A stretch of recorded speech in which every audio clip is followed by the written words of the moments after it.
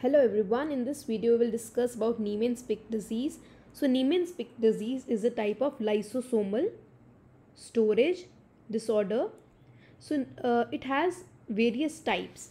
It has A and B type and a C type also.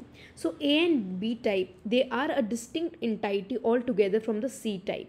So uh, mainly what happens in A type is there is deficiency of sphingomyelinase enzyme. So therefore if the enzyme sphingomyelinase is absent, it will not be able to break down sphingomyelin and therefore the sphingomyelin accumulates in the lysosomes. So this is the main pathology behind the Niemann-Pick disease A and B.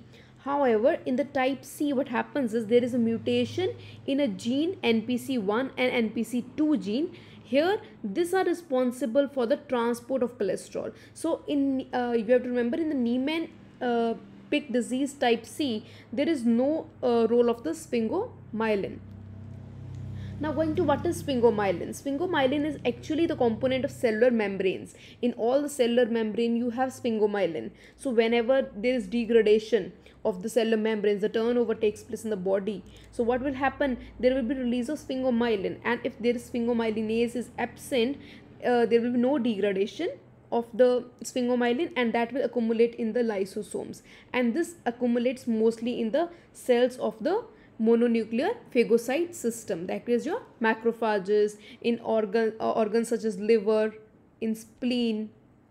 So it will accumulate over there.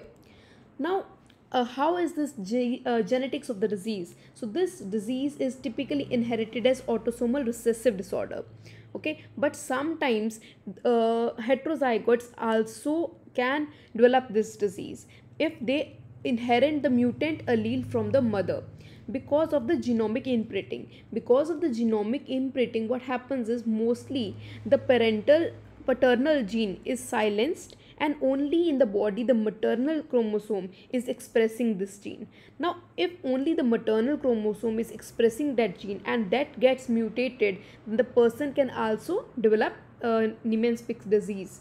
Okay, heterozygote person can also uh, get this disease. Mostly it is autosomal recessive.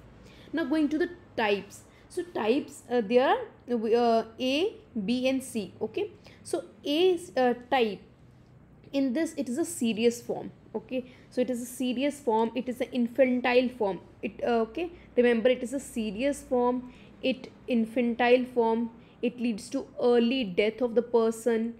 And it also there is also cns involvement so it is a classical infantile type. In this there is complete deficiency of sphingomyelinase and it is a severe form. There is a neurological involvement is present and the death usually occurs within first 3 years of life. There is no treatment whatsoever available for the type a. It is mostly uh, the treatment is mostly uh, according to the symptoms of the person and not curative. Now going to the type b disease. Type b disease the persons they have a milder disease and these persons survive into adulthood. There are no cns involvement. Okay whenever there is no cns involvement the prognosis uh, it itself becomes better. The persons will have organomegaly and these persons can be put on enzyme replacement therapy on your bone marrow transplantation. So this can be managed. Then going to the morphology of each and every cell due to the disease okay so the affected uh, cells are mostly the mononuclear phagocyte system. That is your liver your spleen lymph node. So these are involved. So how, what happens? The affected cells they become enlarged because there is distension of the lysosomes with the sphingomyelin. Now there is in the each cell there will be small small vacuoles which will be formed. So this will give appearance of a soap bubble to that cell so in this picture you can see numerous cell and these have very much vacuolations okay? It gives appearance of a soap bubble to the uh, cell. In the frozen section okay because these uh, there is a sphingomyelin oh, so the vacuoles they stain for fat. Then in electron microscopy you have to remember oil if the fat stains you do it will come to be positive However, if you do the PAS staining, it will be negative. We discussed another uh, lysosomal storage disorder that was Gaucher's disease. In Gaucher's disease, the PAS comes to be positive. Here the PAS is negative.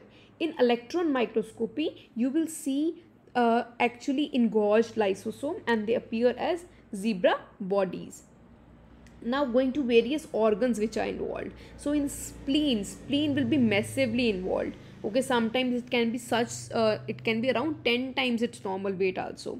The the liver is involved but the hepatomegaly is not so much striking. The spleen is involved uh, and produces a massive enlargement. Then lymph nodes are again enlarged in the brain uh, importantly in the type a so what happens? The gyri are shrunken, the sulci are widened and the neuronal involvement also because the neurons they get vacuoled and there is ballooning of the neurons. This is also diffuse.